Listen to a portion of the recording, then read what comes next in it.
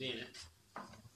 Eh, buon pomeriggio, allora vi presento in italiano, poi il seminario sarà ovviamente in inglese, il professor Roderick Lindenberg della, Technical University di Delft in Olanda e ci presenterà un po' di lavori che sta facendo sul monitoraggio utilizzando dei metodi di telerilevamento, in particolare con i nuovi dati Sentinel-2, ma non solo.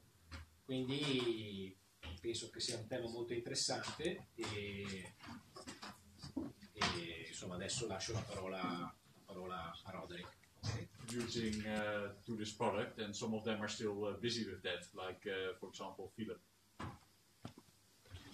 Um, so the topics, uh, I, I, I, made a kind of division in uh, uh, certain topics. So basically, what I will tell you is a kind of experience that we had for almost 10 years on looking at glaciers and mountains in uh, in uh, uh, Central Asia. Um, so, and during that 10 years, I mean, at the beginning of these 10 years, for sure there was no Sentinel. I think even we didn't know that it would be called Sentinel. So there are other satellites, and then eventually these satellites they will disappear because they died, like ICESat, and then the new satellites come, and then in the end there will be some uh, some Sentinel. So we will, uh, what we will see is that uh, more and more information is uh, uh, coming available. Um, and the topic that we will look at are the glaciers. So this is glacier in Tibet. Somehow they like the beeping a lot. So they were beeping all day and then they put signs that you're not allowed to beep. Uh, and then the water from these glaciers is going downstream in the rivers to lakes and then eventually further, uh, further down. Uh, so we look at lakes because somehow I will explain they're easy to monitor than glaciers. Um, then uh, we link lakes and glaciers to make the connection between them. Um, and then eventually I go over from more elevation data to more uh, uh, raster data, like the thing I think the data you worked with last hour. Um, and uh, example to look at the Earth, sometimes you have a problem because there is a cloud came to Delft. Um, I don't know, somewhere in 2008. Um, and he was uh, leading an FP7 project, so it was a big European uh, project with 10 or 12 uh, partners. And this project was on the hydrology and climatology of the Tibetan Plateau. And until that time, I had been working with remote sensing data, but more on Antarctica and Greenland.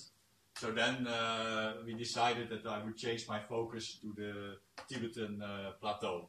Uh, so we worked on that project until yeah, a few years ago. And currently, we are uh, continuing a bit in uh, what is called the Dragon 4 project. And Dragon uh, has, sounds like it has to do something with uh, China, and that's true, uh, because that's a uh, cooperation between the European Space Agency and the Chinese Space Agency or remote sensing. and there we work together on the observation of snow and permafrost in high mountain Asia. And the good thing about that is that the Chinese, they have a lot of uh, field data, so they, they visit glaciers and they, they have in situ data, which is very difficult for us uh, to access to validate uh, results.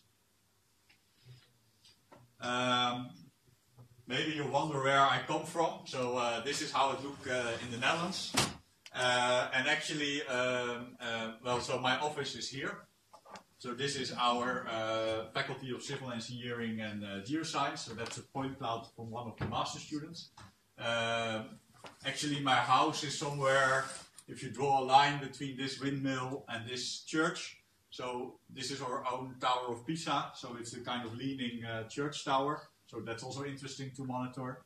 Um, and these are all point cloud data. So uh, uh, this data, because I Francesco asked me for some topics. So I gave him, I think, two or three topics on point cloud data, and then one on uh, Central Asia. And then he took the topic on Central Asia. But I spent a lot of time on this point cloud data, and here you see how it looks like.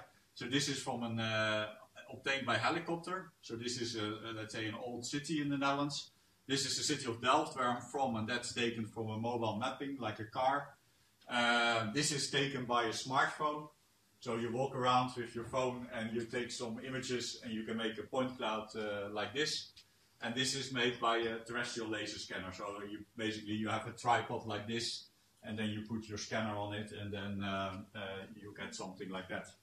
So when I'm not working on Asia, we work with this kind of data.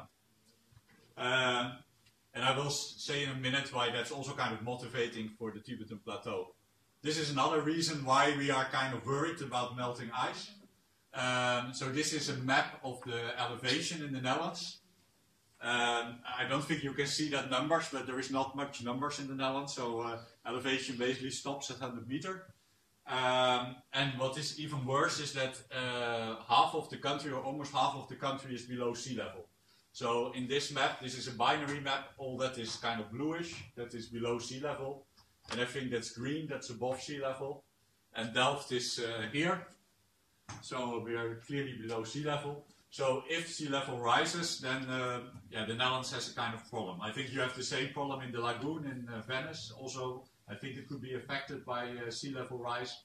Uh, but but people are quite uh, yeah worried about that, and that uh, requires a lot of engineering to keep the land dry. So that's why we're somehow interested in melting glaciers if you look at the world glacier distribution, so this is a map that I found online, then you see there is of course a lot of, uh, these are only the glaciers, so these are not the ice caps. So actually there's much more ice in uh, Antarctica and Greenland than this map shows. So these are only the outlet glaciers. But what you see, this is, except for Antarctica and Greenland, that most of the ice in glaciers, that's actually in Central Asia. Here you see three balls, and together that's a lot of ice. Um, so if you look at glaciers, uh, I, I, heard now that you look at uh, glaciers in uh, in the Alps, and of course that's important because they're very close by. But uh, the amount of ice in uh, Central Asia is, is, is much larger. So that's one reason to look at that area. and also there are changes going on there, obviously. So this is an image from 1921. So that was in the time that the first mountaineers went to the Tibetan Plateau or to the Himalaya. And this is then the situation in 2009, which is also already like uh, eight years ago. And then you see there is a lot of change, a lot of glaciers are disappearing, and you see a big uh, uh, lake uh, um, appearing. And also these lakes, they often make troubles for the people living down valley because these lakes they're not so stable. So they may uh, suddenly uh, their, release their water, and then they make a kind of valley tsunami for the people downstream. So that's another, so it's an imminent uh, danger. If you look at, uh, this is then, uh, sometimes I switch a bit between the Tibetan Plateau and the larger area. This is the what is called the Tibetan Plateau. And what you see in the Tibetan Plateau, another reason why it's interesting is that there are a lot of famous rivers starting there. So here are some Chinese rivers like the Yellow River and the Yangtze Kiang. Then here you have a, a river that ends in Vietnam, the Mekong. And then here are uh, three rivers uh, that end up in India, the Brahmaputra and the Ganges and the Indus. So that means that in total there is, I don't know, something like one and a half billion of people. They live in the basins of these uh, of these rivers, and uh, um, and some of these rivers have more, and some of these rivers are less dependent on the ice um, that you can find here in the upstream area on the Tibetan uh, plateau. Um, so what, what, is, what, what else is there? So you see that part of the map is actually white, and these are closed catchments.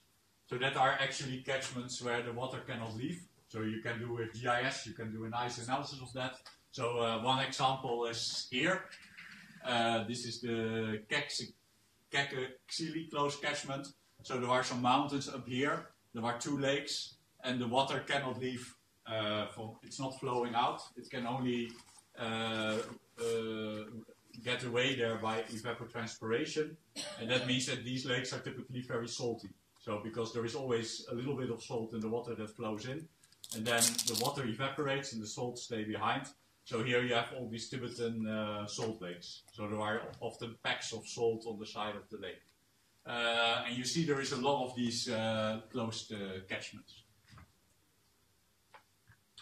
Uh, and here is the distribution of the glaciers per catchment. So here in this map, uh, uh, all the glaciers are indicated uh, and they're colored uh, according to the catchments they belong to. So all the green uh, glaciers there from the Brahmaputra river and let's say these purple glaciers, they belong to the Yangtze, catch, Yangtze catchment. So th this water is eventually going to the Indian Ocean and this is going more in the direction of Japan. Now also I start with some data that you could use. So if you want, if you're interested, uh, Francesco told me that you uh, have some freedom to pick your own uh, topic uh, for uh, for a GIS uh, assignment. So there is some nice free data. One of that is the GLIMS Glacier Mask, and Maybe some of you work with that, but you can download it, and that gives you basically the outlines of all glaciers over the world. and some there are sometimes some mistakes in it. I will show you later some mistake. But in general, that, that's very useful. So that's the vector layer of, uh, of the glacier locations. Uh, another useful product that also we will see back later. so if you have uh, a digital elevation model, and I saw you had a digital elevation model in the uh, previous hour, uh, then you can basically check in what direction the water is flowing, and in what direction is the water flowing in the steepest direction. And that's what the, the D8 algorithm is using. So that uh, so that basically says, okay, the water is flowing in that way, and then eventually it will end up in the ocean when nothing goes wrong. And they did that for the whole of the Earth. Uh, and one data set that has that is the USGS HydroSheds data set. So you can get flow directions all over the world. Um, and if you combine that, then basically you can see is where the water of the glaciers will end. So, and we will see how that works out uh, later on. So why I got interested in um, Tibetan glaciers. So um, I'm working in Delft uh, a lot with uh, laser scan data. So before I showed you the data, these are the sensors. So this is the terrestrial laser scanner, this is the laser scanner on a car, this is the laser scanner in a helicopter. Uh, and then there is one other system, and that is uh, uh, a laser scanner on a satellite. Uh, and that's called ICESat. Uh, and it doesn't work very well. Somebody knows why that's not working so well? Sorry? Okay, somebody has an idea. Why, why is it difficult to use a laser on, from a satellite? Yeah?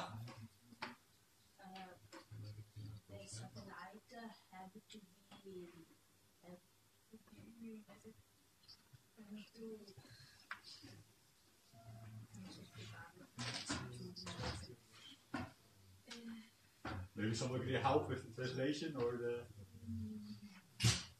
Il satellite deve essere puntato, the satellite have to be uh, focused direct yeah. on the, the area that we have to analyze.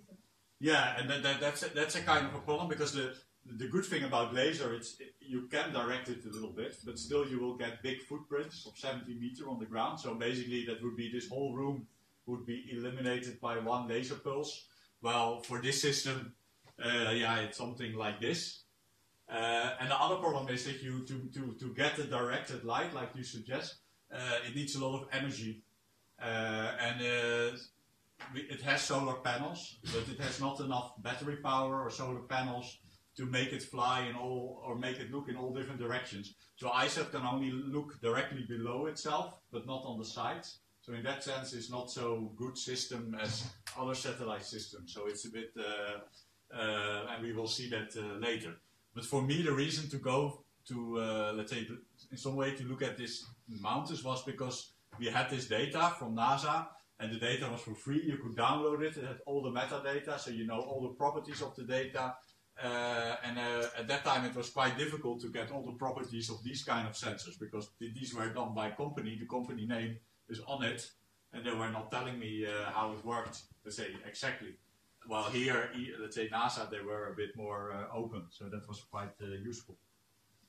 Um, and then the first topic that we considered that were lake level variations. So this is a, a Tibetan lake, one of the bigger ones.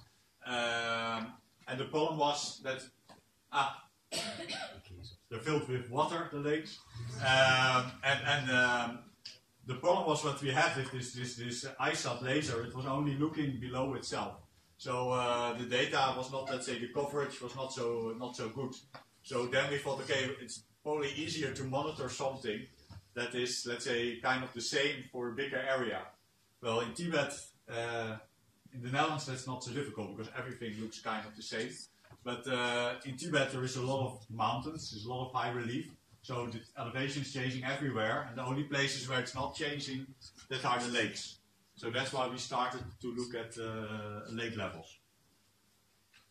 And this is then this ICESat satellite again, so it was operating at 600 kilometer and it had uh, uh, it was uh, working from 2003 and 2009. And uh, this is how the tracks over uh, the Himalaya look like. So this is, uh, uh, let's say, the north part of India. Then, you, this is uh, Nepal and the Himalaya. So these are, let's say, the 8,000 meter mountains. And then this is the Tibetan Plateau. And uh, we have a stick here. and this is the Pelku Tso Lake. So this is like a lake. Um, and the distance between these tracks is like 70 kilometer. So the satellite passes, and then the next place where it passes is 70 kilometer away. So that means that the coverage is very bad. So you don't get this nice color image. That's uh, from uh, Landsat, I think. But uh, from the elevation, yeah, you have to be lucky if your lake uh, is uh, sampled uh, by by the satellite. so so actually, although it's really bad, uh, it turns out that using ICESat it gives much more. We could sample much more uh, lakes than before. Uh, because before, what was done, they used it using radar altimetry. We will show an example of that later. But radar altimetry has very big footprints. Like it's not 70 meter, but more like uh, four kilometer or so. So that, and then if you have a lake of four kilometer, there are not so many of them. Uh, and that means that most of the time you get a kind of mix of mountains and lake. So you don't, you not know, don't really know what you're looking at. But then, so the 70 meter is much better than this 4 kilometer that you have with radar. So that's why still uh, ICESat was interesting for that. Okay, so this is the map. Uh, uh, so here is Mount Everest, here is Kathmandu, and then this is one of these uh, lakes, the, the Pelku Tso lake. Um, then there are all kind of issues in uh, processing ICESat elevations, but we somehow like that because that's what this data gave us because all the metadata on the data is there. This is an example from uh, before from Antarctica. Uh, so you had saturated receivers, you had difference in reflectivities, uh, there is full waveform data, which is kind of the raw signal. So there's a lot of things uh, uh, to play it, and we, we played with that, so we somehow knew how to handle that. And then in the end, we got several passes of the of the satellite over the lake. Uh, and then you get something like this, so we get time series. And the other good thing is that we had many different elevations, for example, uh, in October 2005, because there were, let's say, maybe 100 uh, points from here to the other side of the lake. So we can somehow uh, average them out. But also you see that in this case, if your lake mask so now again, you need GIS to have a lake mask. If your lake mask is not perfect, then you have some uh, pollution from uh, the sides of the lake. Uh, and then what we get is we can get some trends for that lake because we have different passes in different years and also in different uh, uh, seasons. I think this was still a bit, when we started on the Tibetan Plateau, then we still thought that they had summer and winter as we have but that's not really true because they have different seasons uh, than we have. So uh, that's a bit maybe our perspective. Um, but what you see is indeed we can get uh, we can get uh, uh, lake level trends, and these lake level trends you could think, okay, why are there changes in lake level lake level trend? One possibility is it rains more or less, and the other reason could be there is more meltwater from the glaciers or not. So there are possible explanations. Um, and then, of course, if you want to look at rain, then you have to look at the seasons there. And then in Himalaya, there is a monsoon. So there is a kind of very wet season, uh, uh, typically in May or June. So then there is a lot of precipitation. So then you would uh, expect some uh, different uh, lake levels. So, well, this was just one lake. But then what we then did is that using uh, GIS uh, uh, system. We looked at all ICESat data over the Tibetan Plateau. We made a lake mask using MODIS data. So MODIS can give you the locations of the water and you can find out where you have uh, laser data that passes uh, over the lake. Uh, so, and that's the data that you're interested in. And then you can do some processing, and then you can get the lake level, uh, and you can look maybe, uh, you can look, for example, at summer and winter campaigns. You can look at the quality of your lake level. And then if you also know the area of your uh, lake, you can even get the uh, gained or lost uh, water volume of your lake. And this is then another product, so this is the, this uh, landmass, so you can also download it. And we adapted a bit because there were parts of rivers in it as well, so we improved it a bit. But this is also kind of data that you can freely uh, uh, download. And these are then, uh, this is then the full Tibetan plateau. So here you see the MODIS water mask or the adapted version that we made. You see all the lakes, you see there were many lakes, uh, and you see the tracks of ICESat. So, and why are there gaps uh, in the tracks? So why is sometimes data missing? Somebody has an idea? I think it could be today, it would not be a problem, but like yesterday, I think it looked a bit different here. So today is very nice and sunny, and the laser is just light, so it can penetrate to the earth. But yesterday it was cloudy, and this is just visible light. So yesterday uh, uh, you would have uh, gaps because of the clouds. So that's a disadvantage of uh, using laser for this purpose. And then this is uh, the number of lakes uh, in each campaign. It's a very big table. But the only thing that's important maybe is that um, what you see here, that the number of lakes that could be monitored in uh, the Tibetan Plateau is somewhere between 100 and 200. Uh, and before, when you used only radar, that were maybe 20 lakes. So instead of 20 lakes, you could now go to 100 or 150 lakes. So that was a big uh, improvement. So that's why even although the data is maybe not so great, we could still get much more information. So that was actually the first time using remote sensing data that you could see what is the lake level of all these lakes. And then you get uh, a map like this. So here you see back the same uh, catchment, the Yellow River, the Brahmaputra, and now you see all kind of colored uh, lakes, and you see the different uh, uh, trends for these lakes. So we can see that here Namso Lake is a big lake there. Uh, water is rising. That's in a closed catchment, while other lakes are, are dropping in water level. But this is only seeing that these lakes are changing, but we don't know why they are changing somehow. I mean, it's just observing that they are changing. Uh, and you can also check for the area. So here, like uh, Namso and Qinghai Lake, these are really big lakes. So they that means that they represent a lot of, a large volume of water. I mean, uh, one of these big lakes is maybe 20 of these uh, small lakes. So this is a kind of breakdown into catchments again and also into area. Well, then ICESat died in 2009, so it was really bad, uh, and uh, so we couldn't continue.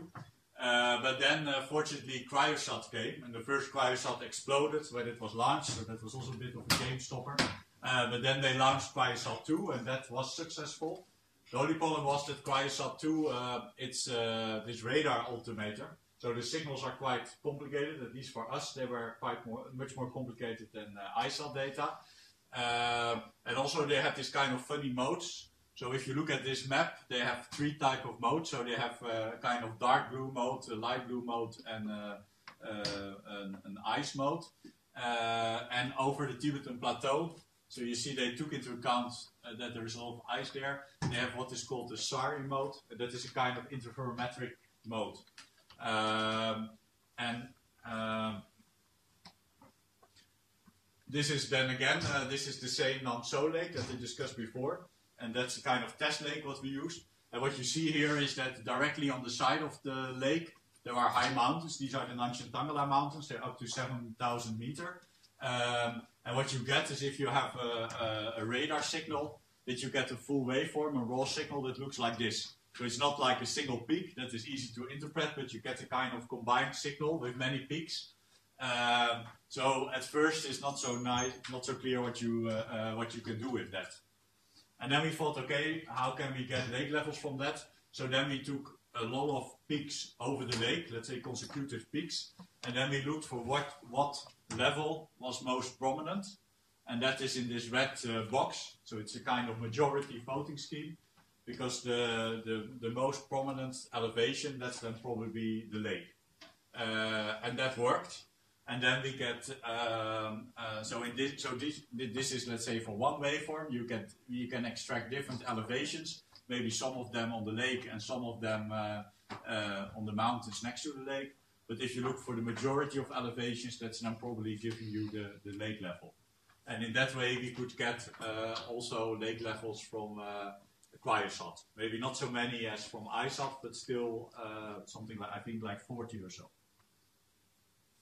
And then uh, the, the Tibetan project itself was finished, so we, we had a little bit larger area. So we looked at uh, lakes also uh, more in Kyrgyzstan, the former Soviet uh, republics. So we added them, so also there are lakes there.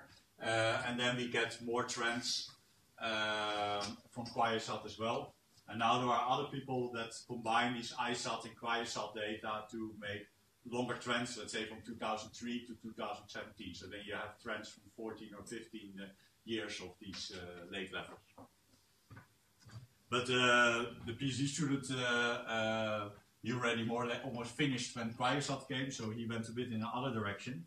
And the direction he was was like explaining, okay, why are these lakes changing now? And to do so, uh, he linked the glaciers and the lakes, which is a kind of classical GIS application. Um, and that's basically, uh, you need uh, actually only three ingredients. You need to know where are the glaciers. So the glaciers, they are here the white uh, areas. So that's from this GLIMS glacier mask that you can download and that sometimes is correct. Then you have the lake mask. So there was a Modis water mask and we improved it. So we have uh, the locations of the lakes. And then if you also know the flow directions from this US GS HydroSHEDS, so that's basically from the uh, elevation data. Then you get flow from the glaciers to the lakes. So then you can divide everything into catchments, and then you know which uh, uh, glaciers flow in which lakes. And what you see here is actually there are some issues because basically you, what you, the, the red lines they are the basins, and that means that all the water on the south would go to this side and on the north to that side, while here the glaciers, uh, they should have the same division, but it's slightly different. So there are some kind of technical issues, but in general, that, uh, that seemed to match. And then what we could do is that if we have a, a, lake, so this is the Pelku Lake, this figure 8 lake that we looked at before, we can actually analyze what is the area of glaciers in its catchments. So in this case, the glaciers are uh, in green, uh, and you can determine the area of the glaciers and you know the area of the complete uh, catchment of the lake, and then you know so that gives you some indication. So you basically what you do, you determine the percentage of a catchment closed by ice. That gives you some indication of how dependent this uh, uh, this lake is on uh, on ice. Because if for the rest there could be meltwater from snow, there could be rainwater or sources but at least it gives you some idea of how dependent it is on, uh, on ice. And then we get another map of, uh, of the Tibetan Plateau, and this gives you a percentage of the glacial coverage uh, per lake catchment. So you see there are big red dots, so that are uh, lakes that are uh, strongly dependent on, uh, on glaciers, and there are, like for example, this Qinghai Lake, a very big lake, is almost not dependent on uh, glaciers at all. So melting of the glaciers will not have a big uh, effect, or at least not a, a, big direct effect on this lake. But for example, on the Phuba Lake or the Yamdrok Lake, there would be a much higher uh, effect. Just checking the time. How are you doing time-wise? Okay. Um, and then, uh, so what we have now is that we have the changes of the lakes. We know which uh, glaciers belong to which lake, but what we do not know is how the glaciers are changing. Um, and actually, when we were working on that uh, on this project, we thought it was too difficult. So we, di we didn't believe we could use ICESat elevations to get changes on the glaciers. But then another group from K, uh, they published a paper in Science on uh, uh, glacial changes on the Himalaya. Um, and he showed that in some way it was possible and you could get a signal, so then we tried it as well for the Tibetan Plateau. So basically we want to know uh, what is the thickness change of the, of the glacier. And then we know already where the glaciers are. Then we look for the, again with GIS, we look for where are the ICESat data over the glaciers. And then what we do is we, uh, we take a reference DTM, so that could be SRTM, and we see how much different is ICESat from this reference DTM. And the problem is that ICESat is always at a different uh, location, so you cannot subtract data from different years directly from each other because one year it's here and the other year is there, so you cannot directly compare it. But what we then compare it to is this reference DTM, so we just use this as a reference elevation. And in that way we can make a time series uh, uh, like this. And one of the questions we had is uh, what you would expect. I think you also see it in the Alps, on the south side of the Alps, like here. The weather is in general different than on the north side of the Alps. So you would also expect these kind of effects on the Tibetan Plateau. Because the mountain range, they stop maybe some rain or precipitation that is coming. So that is one of the things we looked at. Uh, and that indeed we find, so we see this is the Kunlun mountain, so probably you never heard of it, but that is a, a, big mountain range in the northwest of the Tibetan Plateau. And then we see that there are different changes in uh, uh, uh the, the, amount of uh, lost and gained ice volume on the north and on the south of the glaciers. So on the north it's gaining, uh, actually the glaciers are thickening, so they're, they're, they're, they're increasing, while on the south they are decreasing which is a kind of pattern you find in many glaciers. But uh, so you see that there is a kind of orographic uh, uh, variation depending on where you are with respect to the mountain ridge. And then we can again make a map from the Tibetan Plateau. I think this is one of the last maps of the Tibetan Plateau, where we can look at the ice gain and loss over the full Tibetan Plateau. But then actually what we had to do, because of this really bad sampling of ICESat, we had to divide it in certain regions. So we, we looked at uh, maybe a glacier region here, at the glacier region here, and then we divide it with respect to if it's on the north or on the south side of the mountain range. And then, then we can get uh, this trends all over the Tibetan Plateau. Okay, then ICESat died. Uh, CryoSat was too difficult, so in some way we stopped looking at, uh, at the elevations. And then we started to look at uh, Landsat and Sentinel data. So that's maybe the data that you had last hour. You looked at Landsat data, maybe? No, not yet. Not yet. Okay, so you will. Uh, you have to stay tuned with Francesco to see the Landsat, but it's coming. Um, and basically, what Landsat. So if you have a, a, camera like this one, it has three bands: uh, red, green, and blue. And with that, you can make color images because we can, let's say, interpret three bands. Uh, if you have um, uh, Landsat, it has, um, should be somewhere in this picture.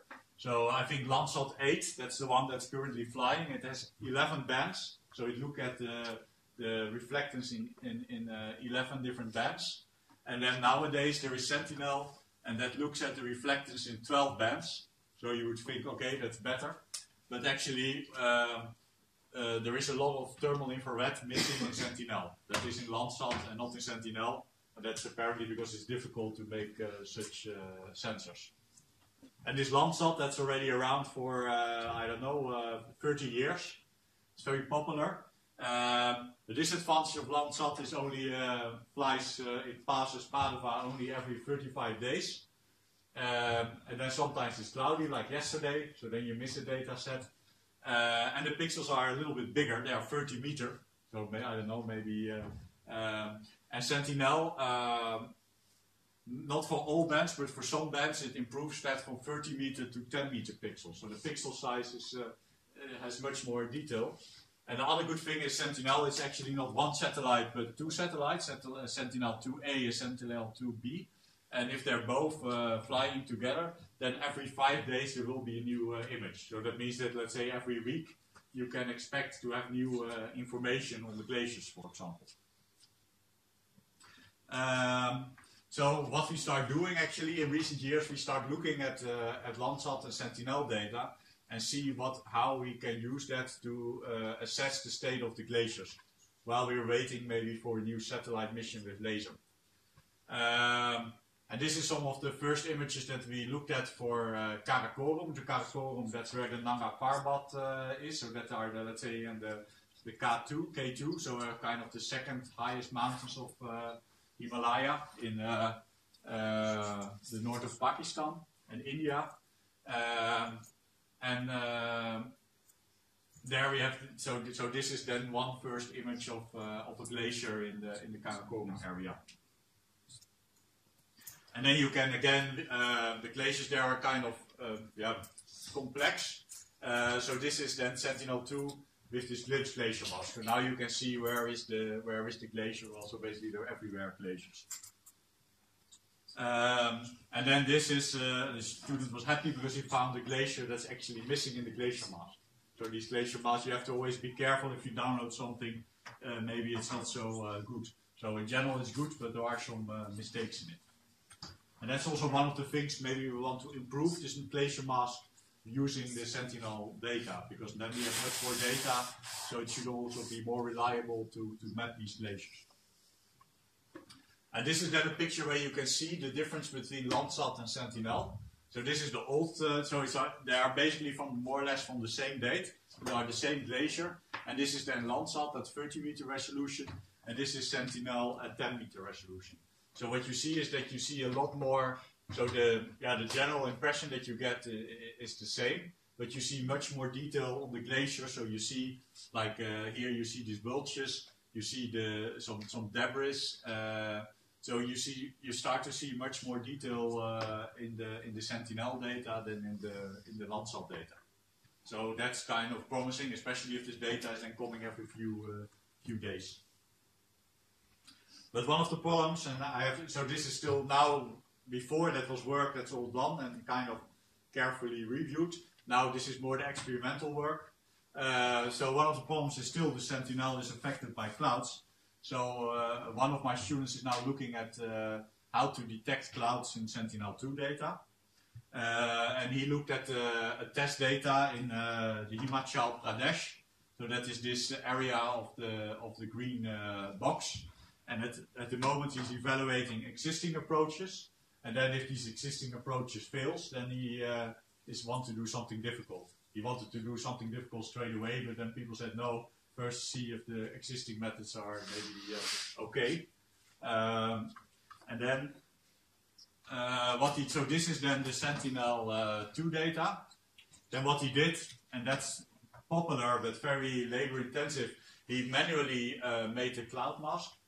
Uh, so this is, uh, if you look carefully at this image, you see that these are the glaciers.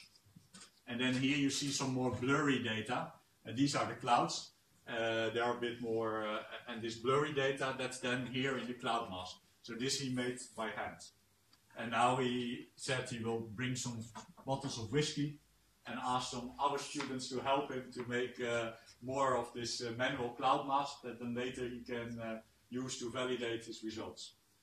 Uh, and this is then one popular approach, so that's F-mask, that's one, what they used for Landsat to mask clouds. Uh, and it it it uh, it has clouds, thin clouds, and also the shadow of clouds. So that's already uh, quite good. And he didn't evaluate it yet, but now he's looking for columns that F-mask is maybe having over uh, snowy and icy uh, areas.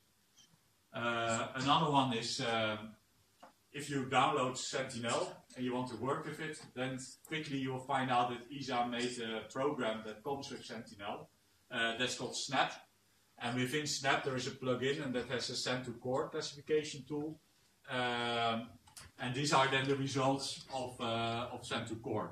So this is basically a little bit like what maybe you are doing in the last hour. So you apply some uh, uh, program that is there to get a nice uh, division into classes. At least I saw it here with the Stambecki when I entered the room. Um, and this is another method that's basically an index. So an index is something that goes from 0 to 1.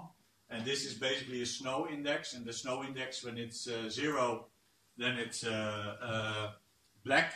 So then you're in a tomato field and not in the snow. And when it's white, then it's very likely that you're in the snow. And then the more close it gets to 1, the more snowy it is. So that's also a popular method to detect uh, snow. Um, but it could get mixed with clouds, and that is one of his uh, uh, topics. And then this is done in QGIS, and this is uh, a maximum likelihood classification. So there is some ways to classify Sentinel data, and So uh, here he did that and he got the classification result. But these were kind of results from last week. Uh, I said, hurry up, I have to show them in Padova, but he didn't uh, evaluate uh, them. So I cannot tell you which approach is good, but these are somehow all easy approaches. If they are, if they fail, then he will want to do something difficult with uh, convolutional neural networks. But that has to be done if that's necessary. And then the way that we actually want to uh, uh, look at glaciers, because we will not so much uh, look at the volume changes, but another way to look at glaciers is uh, to check where the snow line is. So this is the Hinterreisferner in Austria. So I heard that uh, you have uh, another glacier that is kind of a very long monitored glaciers, but in Austria this is a very well monitored glacier. Um, and what you see here is that high on the glacier there is snow, and low on the glacier there is bare ice. And notably, where the ice is bare, uh, there it will uh, melt easier because it's not protected by the snow. So the more bare the ice is, or the more bare the glacier is, the more uh, yeah, it's bad it is for the glacier because it will will melt uh, faster. So what people are doing is that they start to uh, map uh, these snow lines. There is one problem with snow lines, and that's that they don't stay they don't stick on the same place. So if you uh, look, uh, and you, I think you see it now. Now there is everywhere snow, and then maybe in a month the snow line is completely different. So this is the same glacier, and now the snow line is at a completely different position. So during the season, the snow line is going up and down, going up and down. Um, but the idea is if you look at the highest snow line in one season, uh, so let's say you could maybe you look in the end of August or something like that before it's getting cold in the autumn. Then the snow line is high on the mountain, and that is what they often refer to as the equilibrium line altitude. So basically, what you do for a glacier, you see how high uh, the snow line is going up, and if that is then changing over the years, let's say if that's uh, what you would expect if a glacier is in a bad condition, then this uh, ELA elevation will be higher than it was 10 years ago. So that there is more bare ice, so it's more suspicious to melting. So that is one way why, one reason why you would look at these uh, snow lines. Another idea is if we have Landsat and Sentinel, we have a lot of data.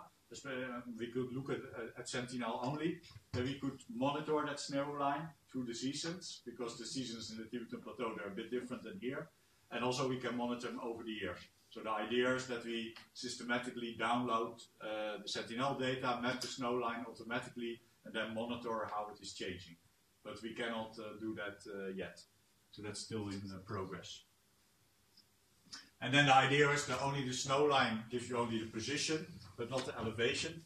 But then if you then, um, in your GIS uh, uh, system, you compare it with uh, elevation map from ASTER GDEM or SRTM or, or maybe an uh, Italian uh, DEM, then you also know the elevation of your snow line. And one area where we tried that, that's uh, in the Nyenchen Tanglha Mountains. So that's, uh, let's say, a bit like uh, 200 kilometers north of the Himalayas. Um, and there, there is also an example glacier, the Sadang Glacier, that is mapped a lot. not so much as the research glaciers in Europe. Um, and here we know that there is a monsoon influence from uh, the south, from let's say from the from India. So here is a monsoon coming, and then there is there are other winds that are called the westerlies that come from here. So the monsoon has an influence from this side, and the westerlies from that side. And then uh, we looked at the Landsat data. That we had a more thorough look we look, we start to look at Sentinel data. You see that's still a bit blurry. That's also a very recent uh, result. Uh, and we can use that to get the, the snow lines. And I have nice pictures for the Landsat data and I have no pictures for the Sentinel.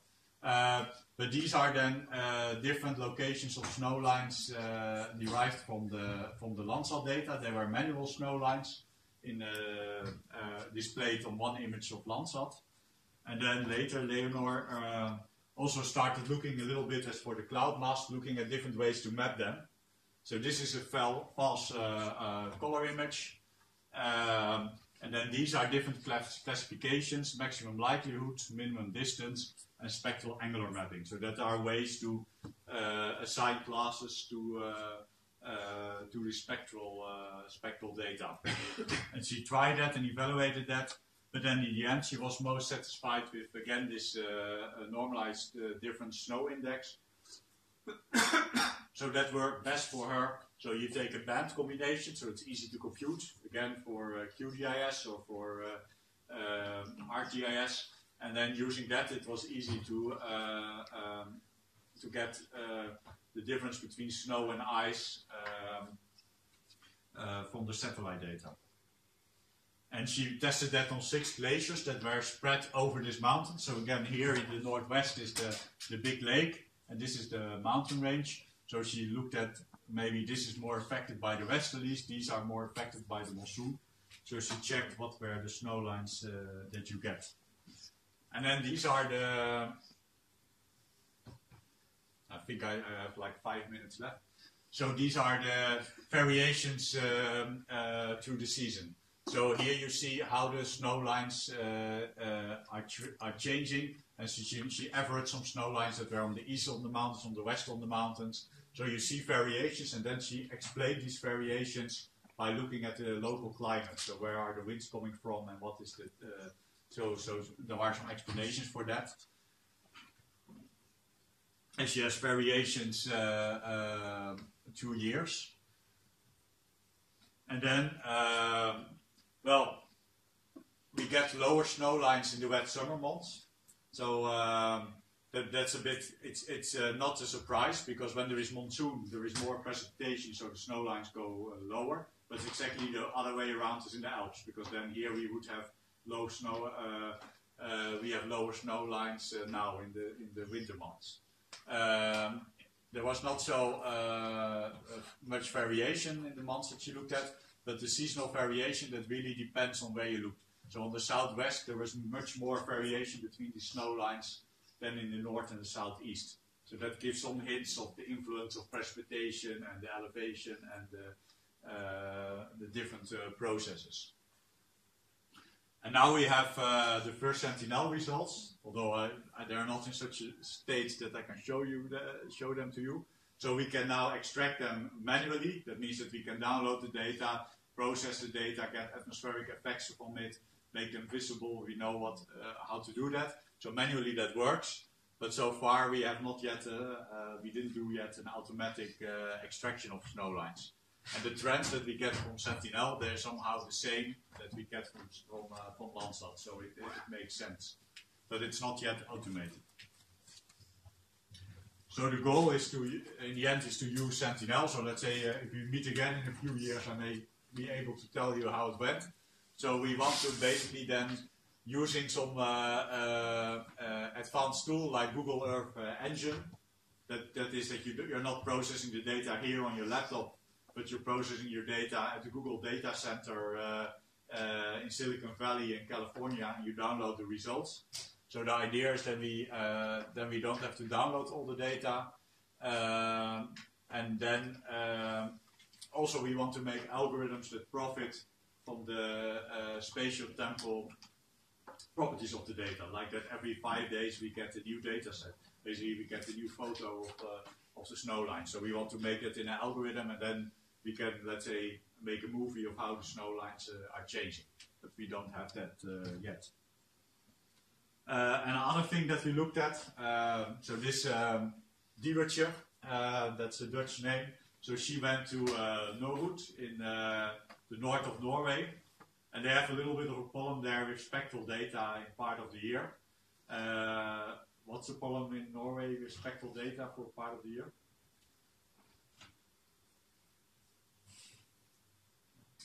Well, basically the problem is it's always dark there. So, uh, so, so, starting from November to March or so, it's kind of completely dark the whole day. So yeah, if you take spectral data, yeah, you don't see anything because it's dark. So uh, working with Sentinel-2 data doesn't work. But what you can do is they can work with Sentinel-1 data. That's radar data, and radar has properties that it penetrates uh, clouds. So that's much better in a Norwegian uh, setting. Uh, and then what she did is that she actually looked for avalanches uh, in, uh, in Sentinel-1 data. And because the snow is much more compact after an avalanche, because it all pushes together, uh, it gives a different, uh, yeah, like signature or different signal.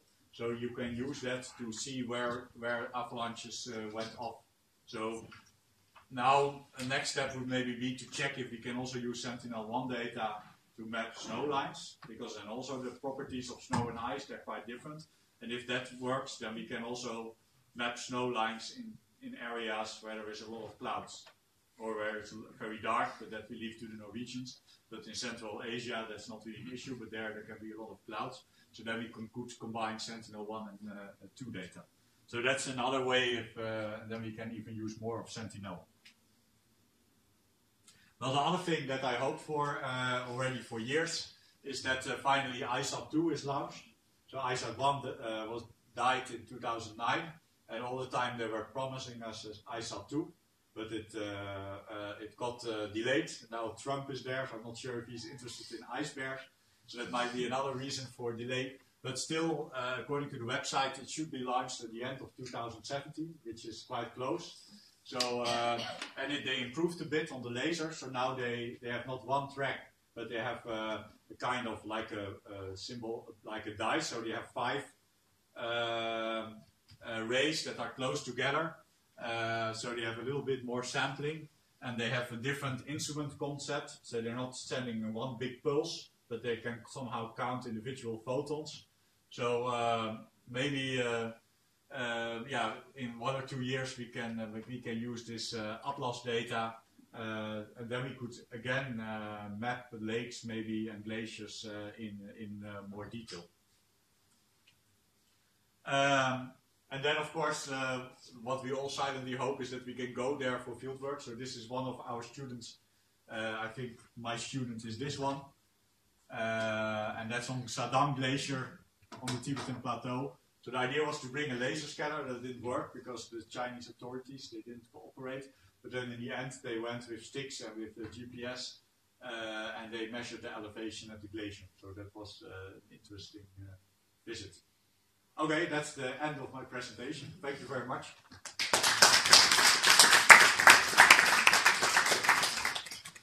Any questions?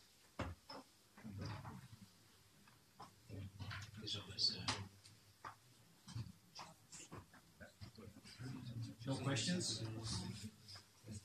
I think it's very interesting. Uh, ICESat uh, 2 is, uh, is uh, will be really nice uh, breakthrough, basically would have a lot of points sampled on the ground, and uh, so there will be a breakthrough in remote sensing.